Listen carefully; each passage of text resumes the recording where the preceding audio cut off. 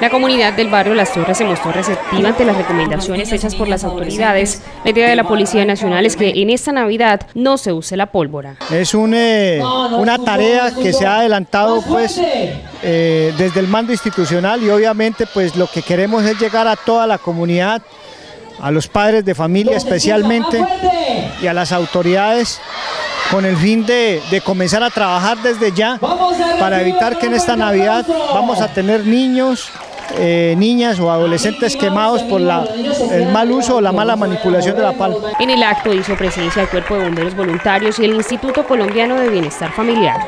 nosotros lo que buscamos pues fundamentalmente, como le decía, es evitar que esas situaciones sucedan.